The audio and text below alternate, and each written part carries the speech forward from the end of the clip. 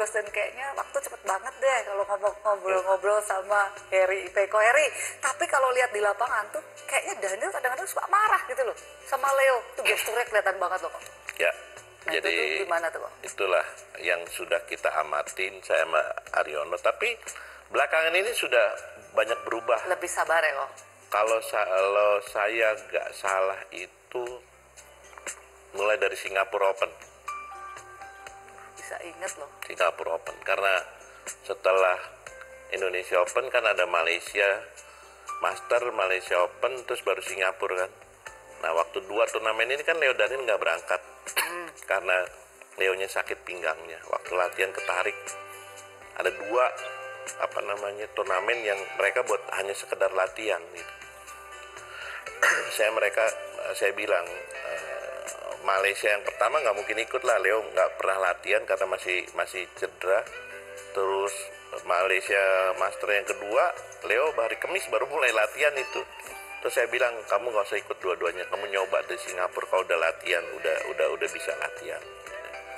Eh, sebenarnya sih secara tidak langsung sih eh, itu sih strategi saya juga. Pas kebetulan eh, Leonya juga apa namanya sakit kan cedera jadi nah terus setelah selesai mereka main bertanding main di Malaysia terus juara kan? Nah pulang saya tanyain gimana? katanya. Enak juga ya katanya. Kalau main turnamen satu. Kayak karena negara apa yang lainnya udah main di dua dua dua minggu pertandingan mereka baru tuh kayak nggak capek kok katanya. Jadi Itu. fresh ya Iya fresh. Nah sebelum itu memang saya banyak kasih masukan ke Daniel. Nil main itu nggak harus selalu mau sesuai sama hati kita. Kan kamu main berdua. Plus minusnya pasti ada. Kamu juga hargain apa partner Ah, gitu loh. Eh, kamu memang nggak nggak marah, tapi bahasa tubuh kamu Iya. mengartikan kamu kecewa. Terlihat lah. terlihat. Jadi saya kasih sering kasih masukan. Dulu sebenarnya lebih parah. Lebih parah. Tapi sekarang kalau Leonya suka bikin salah apa, dia udah ngerti. Kadang-kadang dia senyum. Mungkin nggak tahu artinya senyumnya ada dua kemungkinan tuh. Dia terima apa memang dia kesel gitu. Artinya ada dua itu. Tapi tetap senyum. Tapi perubahannya banyak, banyak. Bisa aja Harry ini. Iya, iya. Daniel iya. banyak banget perubahan. Coba aja nanti kalau di pertandingan di- boleh waktu ada live itu boleh dilihat. Kalau saya lihat sih progresnya oke. Dia dan- dia dia bisa terima, dikasih masukan, bisa Dan apa? itu membantu partner juga lah Iya, ya. kok. iya, jadi terlalu tertekan juga Iya, partner ya. kasih kok ya. kepercayaan, harus kasih percaya seperti kepercayaan.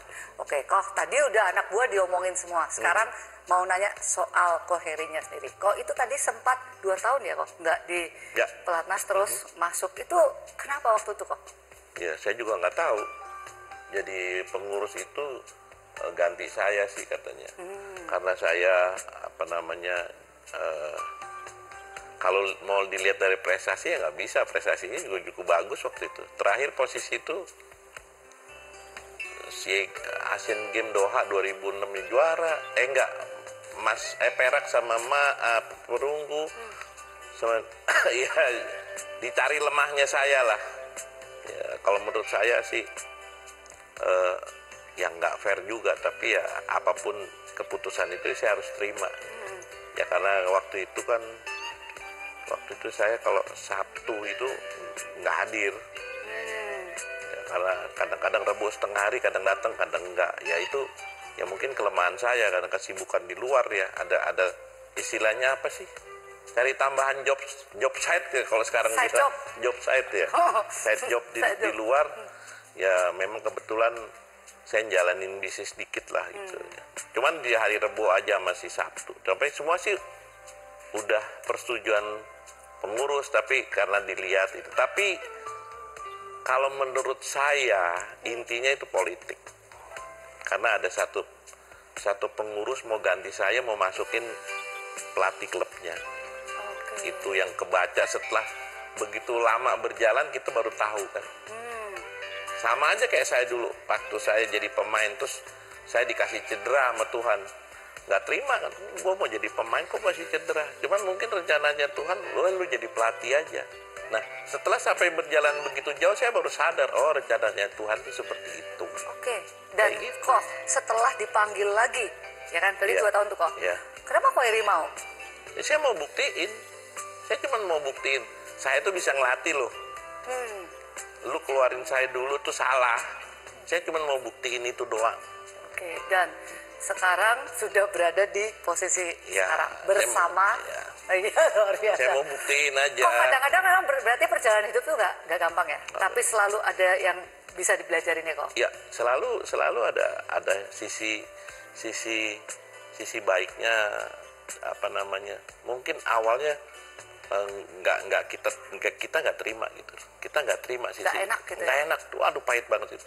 Tapi setelah sampai berjalan begini jauh, kita balik lagi ke belakang renung. Oh, maksudnya tuh begini gitu loh. Jadi ya seperti itulah kira-kira. ini memang kok terus eh, habis itu sekarang nih bareng Aryono Miranat Hmm. satu naga api satu naga air dalam eh, kesehariannya memang begitu kok Koheri yang bagiannya galak ini yang bagiannya kalem sebegitunya nggak sih kok sebenarnya? Sebenarnya enggak lah ya.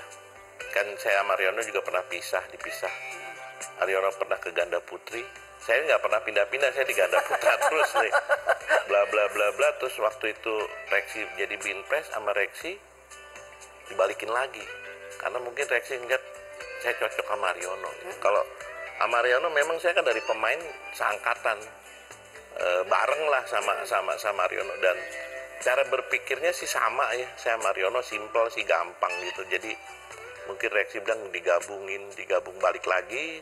Ya udah terus sampai sekarang berjalan ya inilah hasilnya seperti Oh, itu. tapi maksudnya berarti selama ini kerjasama smooth smooth aja kok. Aman apa pernah gini oh berantem juga gitu kok. Ada ketidakcocokan juga ya namanya kan eh, sama-sama pelatih gitu kan kok. Selama saya kerja bareng sama Aryono kita nggak pernah ribut deh. Kayaknya cocok banget gitu. Ngeri banget nih nggak pernah kita ribut. kalau kalau beda pendapat eh, gini-gini itu biasa. Hmm. saya, saya saya mau ke kiri dia mau ke kanan nih. Kita cari jalan tengah ya udah yuk sama-sama. Ya udah gitu.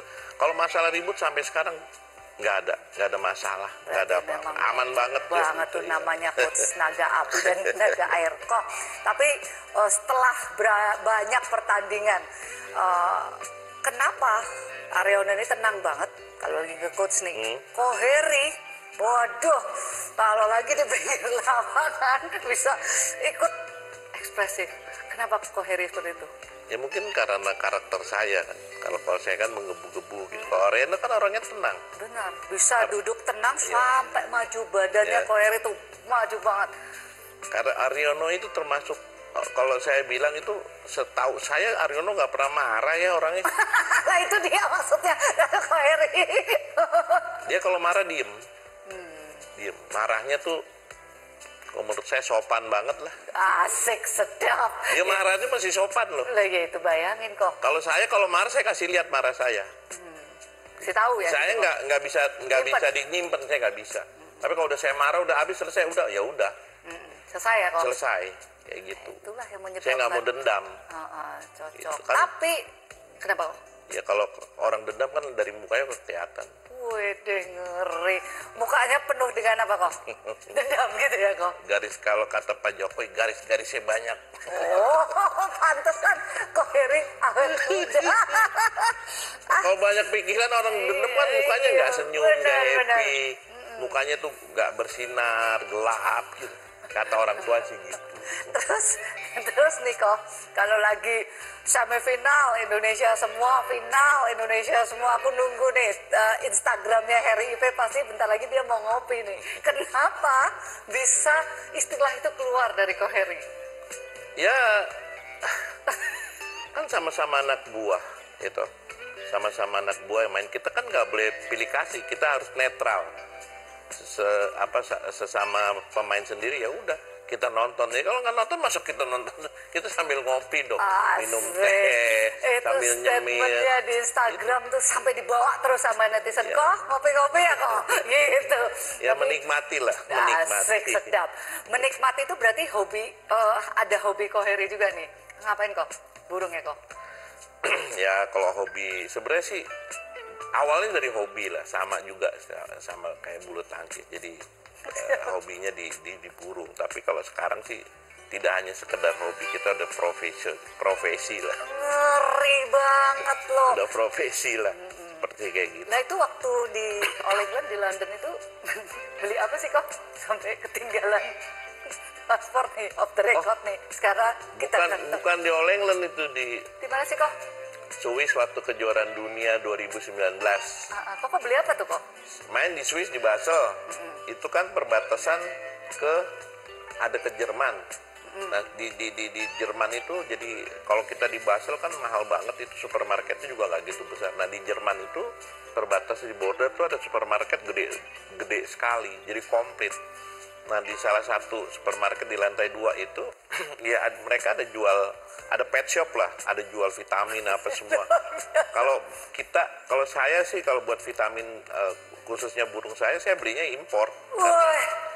Kualitasnya terjamin banget. Kayak gitu. Jadi saya selalu beli di sana. jadi beli vitamin buat burungnya kok. Oke. Dompetnya ketinggalan. Itu bukan paspor dompet kok. Dompet, ya semuanya paspor, uang semua di situ semua. Sebenarnya udah pasrah sih, udah dua hari. Cuman katanya Kok, kan, kok bisa dua hari kok? ya kan hari per- kan sambil main, kan di perbatasan di border. Oh, jadi sudah ngeh tapi belum bisa balik. Nggak bisa balik. Mau lapan besar itu. Fajarian mau main seingat saya itu. Terus kok? Saya nyari di tas kan berdua Mariono pergi. Terus saya saya bilang, Ar lu jalan dulu lah sana. Gue nyari dulu nih di kamar. Saya cari-cari nggak ketemu, sampai baju saya basah.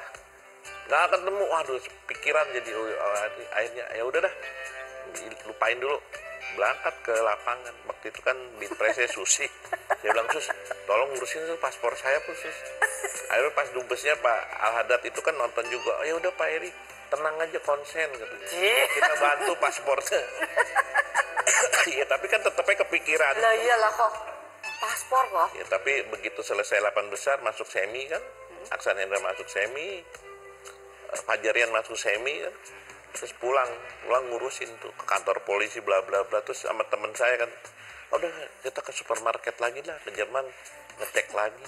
Ngecek ke sana. Pas begitu ditanyain ada waduh saya kayak dapat lebih dari dapat anak buah juara deh itu?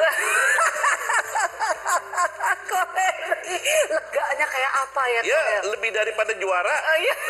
Terus besoknya semifinal lapangan saya bilang sama Susi Sus saya anak saya kerasa saya udah juara nih anak buah saya udah juara. Kenapa kok paspor apa dompet udah ketemu? Ya, lebih daripada juaranya ternyata final bisa juara juga Aduh, Tuhan. luar biasa loh kok pengalamannya. Iya, iya. Anyway, kok ini sudah harus waktunya berpisah nih. Masih iya, iya. banyak mau ngobrol. Terima kasih Ko Eri Ipe. Pokoknya Sama-sama. lain kali boleh ngundang Ko Eri lagi ya. Selama waktunya ada tidak berbenturan sama turnamen ya silakan kita. Asik. Udah pokoknya kalau Ko Heri udah janji, ah, itu udah mantap. Terima kasih Ko Heri. Sama-sama, Sukses ya. terus buat Ko Amin. Heri, sukses buat ganda putra Indonesia ya kok. Amin. Masih mau nanyain Olimpiade loh. Nanti lagi lah ya kok di kesempatan yang akan Ya, datang. ya. Makasih Ko Heri. Sama-sama. Ya, pemirsa itu tadi perbincangan saya dengan Heri P. Ya ampun, banyak banget topik, banyak banget istilah ya. Tapi memang itulah seorang pelatih harus jeli melihat anak buahnya bagaimana dan akhirnya keberhasilan yang harus dicapai oleh sang pelatih tentunya melalui atlet-atlet yang berprestasi. Semoga ganda putra Indonesia selalu memberikan yang terbaik untuk Indonesia. Amin. Kita berjumpa lagi di Aklus berikut.